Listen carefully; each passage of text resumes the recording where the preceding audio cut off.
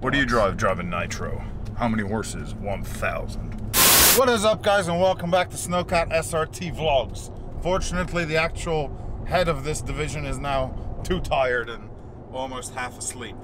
I can't, man. Today I'm just, I, I, I, I don't know. I'm just tired. And I am full of energy so now we're gonna go and see the Hellcat, see what work needs to be done, see what we need to get, see what we're gonna change and see where the rest of this time goes. And hopefully this car doesn't break, otherwise Snowcat is literally carless. No, trusty Ram never gonna break down. Yeah, the Hellcat is going through a little bit of an update, a little bit of a refresh. So uh, we're gonna go check up and see what what they're doing with it. Last time we were there, they had everything off. So It looked see tragic. that. Oh, it looked good, man. Lightweight, super leggera.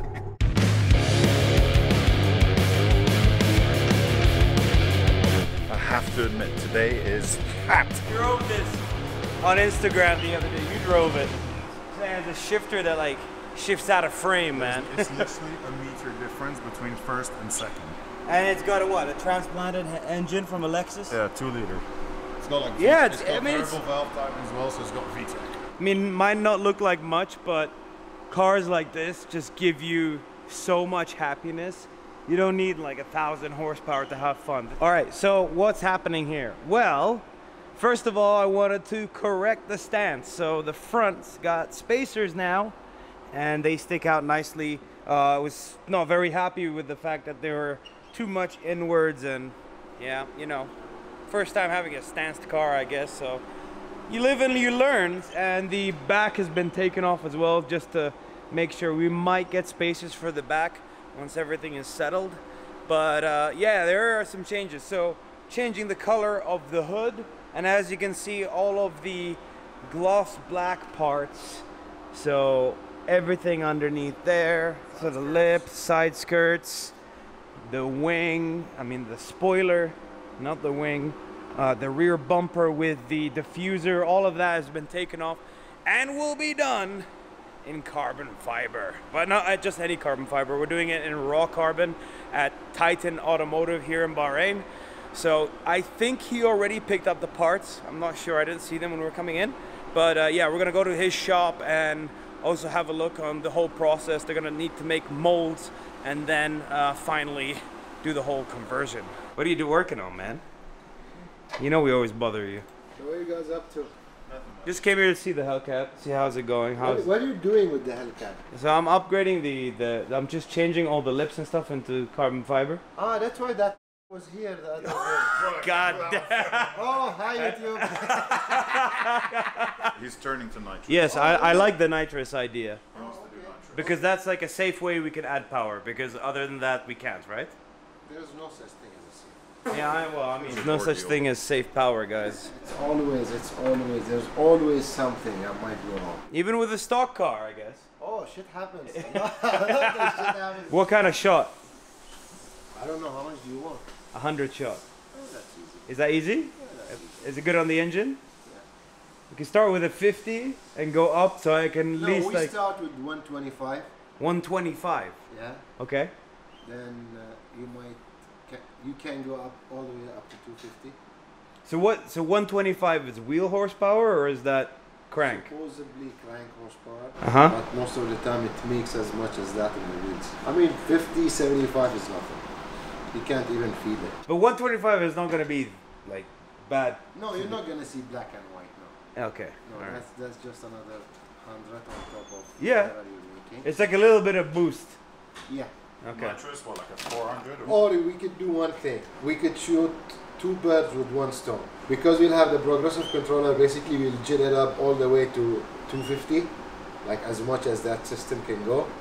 And because it's a progressive controller, we can we can have two different tunes, like one that makes 50, one that makes 100, or another one that makes 250. Okay. Because it's a progressive, so you know we could we could ramp it and hold it, let's say 50% and hold it at 50%, Okay. which in theory should make half of whatever the jetting can make. But that is like what? Is it like a like do I have like a like a monitor or something or a screen or anything like, that, or like a Pro knob or Charger- switch? No, that ProCharger. You didn't see the ProCharger? No.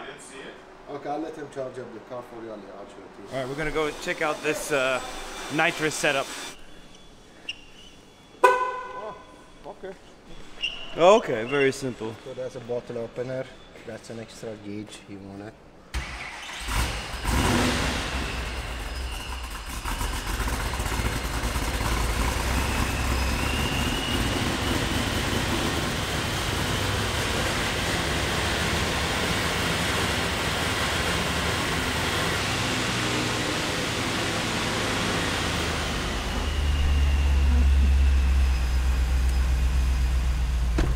How much power is this thing pushing?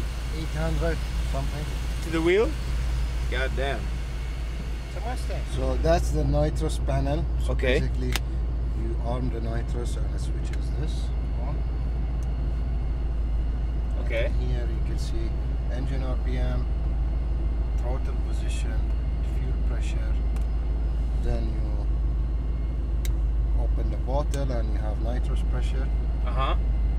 Okay. Open it. That's the heater. Okay. And that's Ah, okay, that's the purge. that's the purge. So why do you purge? Basically, when you switch it on, you have air in this in the line or, Uh huh. or in the nitrous line. So. When you purge it, you need to see this white stuff coming. So basically, that's the that's the nitrous. Ah, When it- okay. When there is when it's clear, that means it's just air. Ah, The okay. Nitrous is white. So now it's just air. Okay. Really, You can see the pressure here. Okay. The cool thing about this, it's progressive control. So basically, you have five different tunes. So T1, T2, T3, T4, T5. So Mhm. if you go and if we go and look at T1. That's how much we use on T1. Okay. That's basically your percentage of nitrous. So when you go all the way up, basically the solenoids are just wide open. Oh, sorry. right. So basically, like this is so when you reach a certain R- RPM. So at, at 3000 RPM, basically it has zero Uh huh. and it progress Mhm. as you go all the way to to maybe four, four and four, five or 5000 RPM, all the way to 6000 RPM. So if you look at T2, Yeah. it's it's less. Basically, it, it tapers down because that's a pump gas tune. So you, you like so you have this stage so uh, you don't get wheel spin, or is it better for the engine? Like. You can, you, you can think about it in many different ways. Basically, you're just ramping the nitrous in. So Mhm. by doing so, you could you could do it to prevent wheel spin. You could do it to prevent the shock on the engine Mhm. because when the nitrous comes on, you don't want to shock the engine with that with that 100 or 200 horsepower. Mm-hmm. And basically, this is what what snaps your connecting rods. So by doing so, we were just going past or past the peak torque, where where we call it the danger zone and by doing so we, we ramp that nitrous slowly all the way to 5000 rpm and from there it just go straight line Okay. Cool. Let, let's say for example 100 is 100 horsepower Mm-hmm. so now we're at 65 so we, we're shooting 65 horsepower Okay. It's not that accurate but Yeah, yeah, but like, as an example. yeah. It has some some safety feature like the nitrous will not turn on unless the rpm is at 3000 rpm Uh-huh. and it will go all the way to 6000 rpm that's one. Then it needs it needs the, the throttle position input to be to be above 70 percent. And you can have it by by gears like Mhm. you know you, you could have different nitrous for different gears Okay. Yeah, a- and can you see the status of the bottle? Like Yeah. how much? Yeah, that's that's what this screen for. Uh huh. Oh, okay. Like it, it here it shows you like stage one and stage one, uh, stage one and stage two is on. On T two, you can see them it's on. On T three, they're disabled. When you go on the clutch, it Yeah. disconnect the nitrous. So Oh, every okay. time you change gears, it disconnect. And, and you can have some safety features like, okay, I want uh, I want the nitrous to run between this much pressure and that much pressure. I want the nitrous to run when, when the air fuel ratio is between this much and that much. You know, you, you could still have you can have an air fuel ratio input to this, like Uh-huh. a wideband.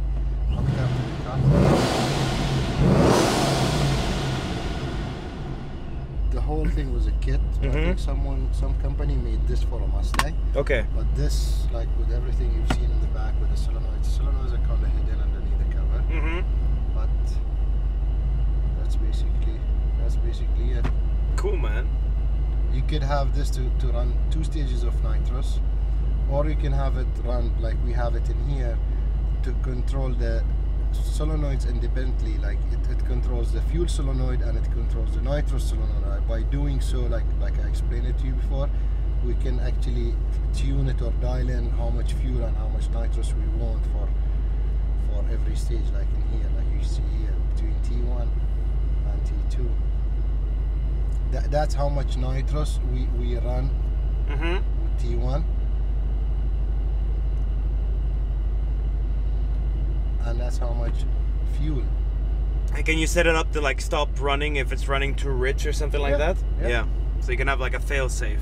you can have it spike like like nitrous comes on then it just goes off if you want to do that you can have it comes on by time like when you release the clutch Yeah.